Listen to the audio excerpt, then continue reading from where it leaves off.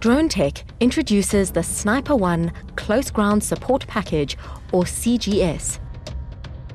The system features the latest thermal imaging camera from FLIR, Tau 2, as well as a standard Sony 720 TV line camera and a switchable high-powered LED spotlight from Sniper Torches.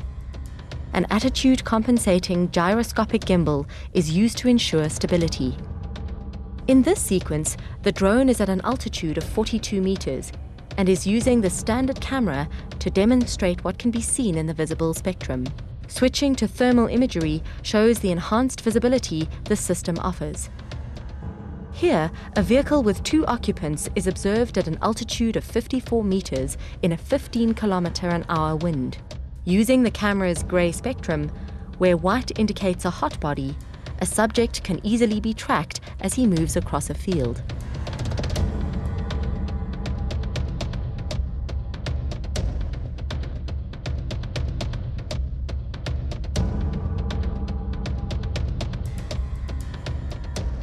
Notice the lamppost in the center of this image.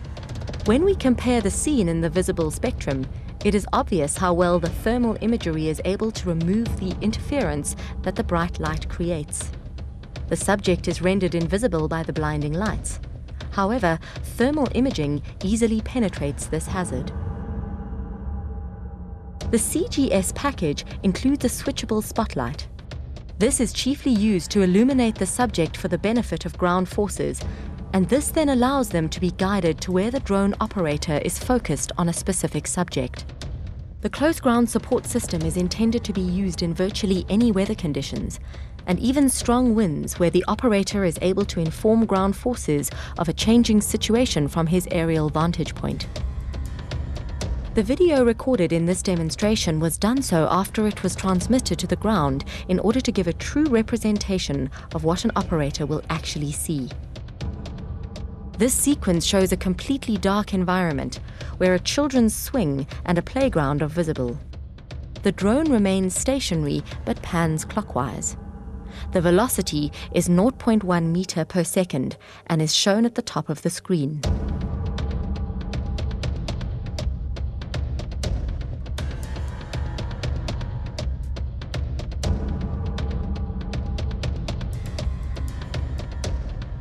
At this point, we return to the standard camera in order to demonstrate how poorly illuminated this area actually is. Thermal imaging then reveals a ploughed field flanked by rows of trees.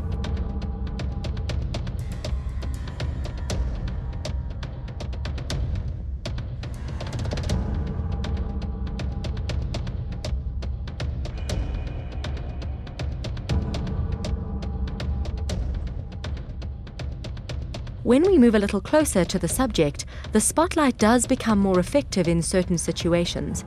However, thermal reveals a motorcycle and a vehicle that wouldn't have easily been noticed when only using the spotlight.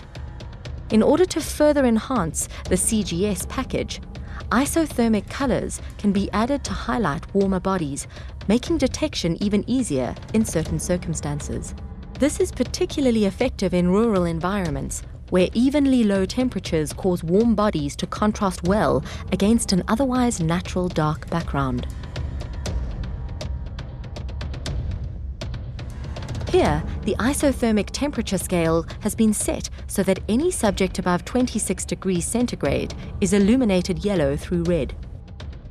As the subject moves, his surface temperature or body temperature increases, and so increases his thermal footprint, making him much more obvious against the black background.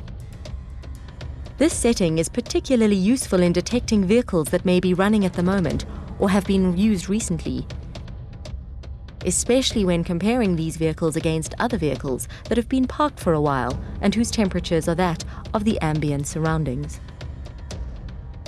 We would like to thank you very much for watching this short presentation on Dronetec's Close Ground Support Package.